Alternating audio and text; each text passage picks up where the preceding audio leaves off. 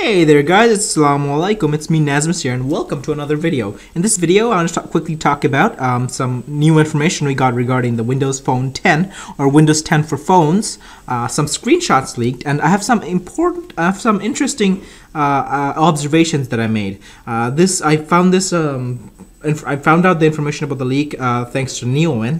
Uh, they're not the original source of the information.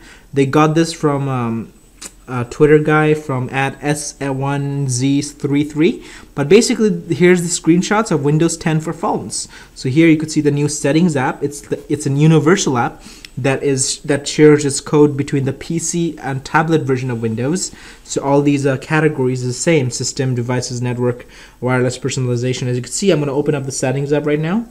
And this is my settings app on my Surface tablet, system, devices, network, internet, personalization, accounts, a time language, ease of access, privacy, and update reco recovery. And you could see some description between each of the items. So I'm going to close the settings app.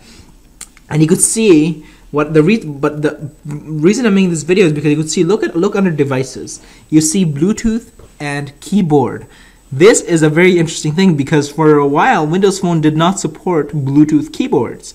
But now because the option of keyboard is here, um, that means Windows Phone will finally support external key keyboards. Otherwise, it would not be listed under devices. So you should be able to use. Uh, we should be able to use our Bluetooth keyboard to type on type large documents or text messages on the Windows Phone. This is something Android and iOS had, but Windows Phone did not. So this is interesting. So yeah. So uh, I would have the link to this article uh, in the description of the video.